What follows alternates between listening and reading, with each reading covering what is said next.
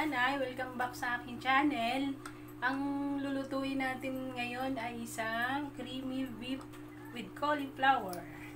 Ngayon, ang uunahin lang natin, itong beef ko, nahiwa na ito ng maninipis. Tapos, pipigaan ko lang siya ng kalamansi, mga limang peraso para maalis yung lansa ng baka.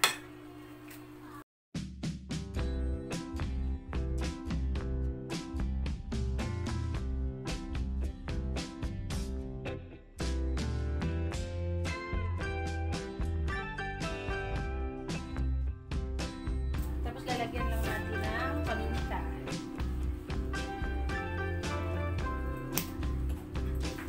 Tapos haluin lang natin.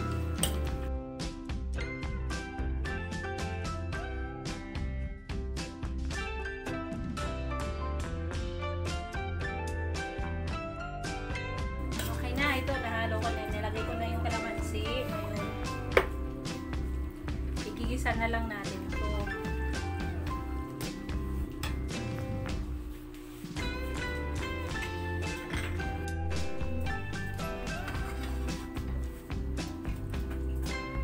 Maglalagay lang tayo ng mantika sa ating kawali.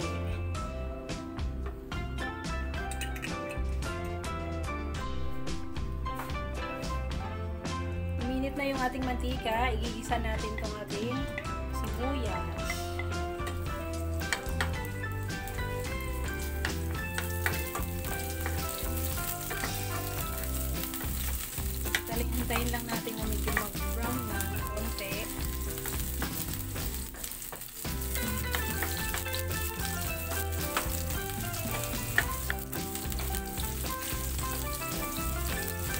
ating bawang.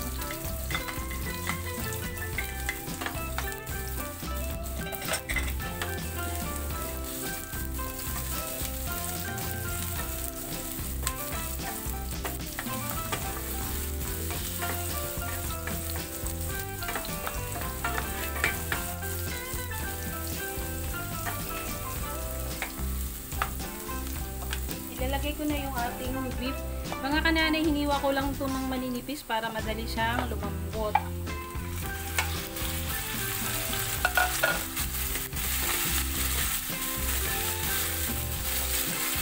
Kalahating beef, kalahating kilong beef lang po ito.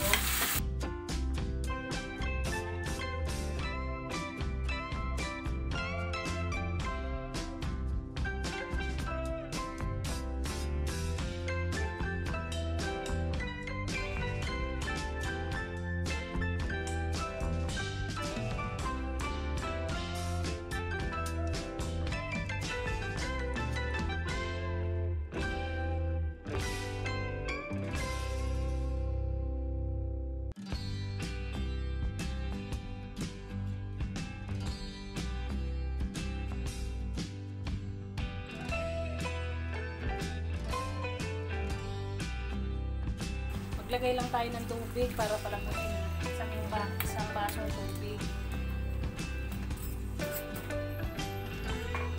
Tapos hintayin natin siya mga 5 to 20 minutes para lumambot kasi hindi ako gumamit ng pressure cooker eh. Pero ito na mga kananay, malambot na yung ating baka. Ilagay naman natin itong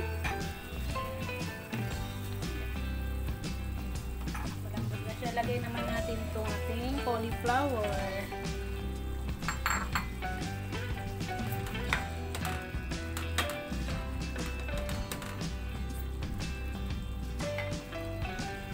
Tapos yung ating Nestle cream.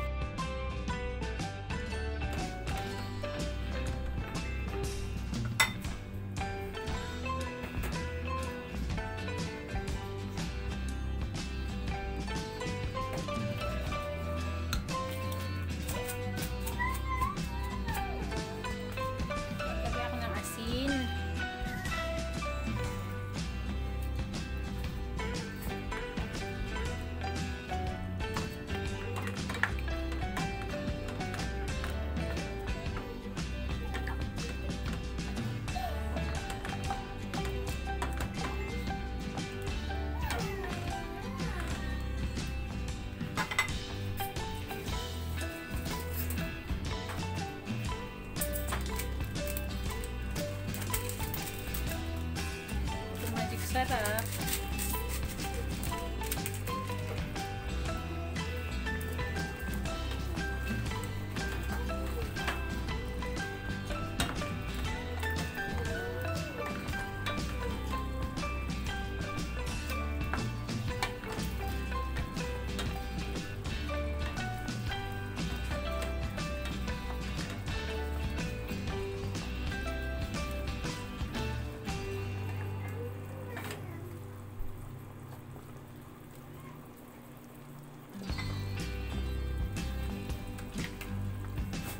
Lalagyan ko siya ulit ng paminta.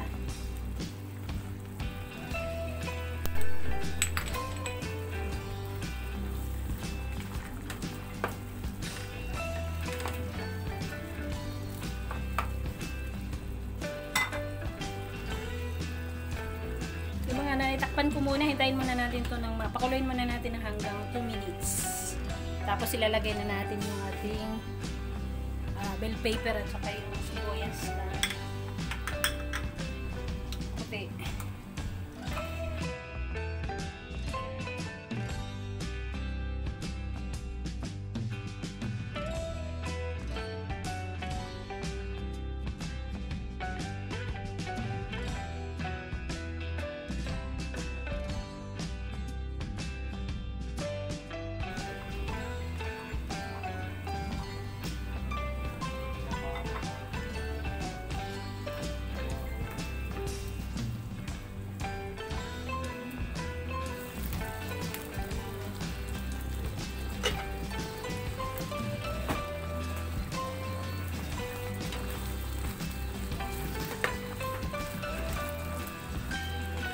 siya.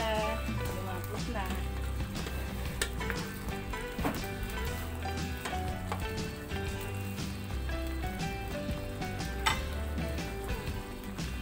Ilagay ko na itong ating sibuyas. Yung ating bell pepper.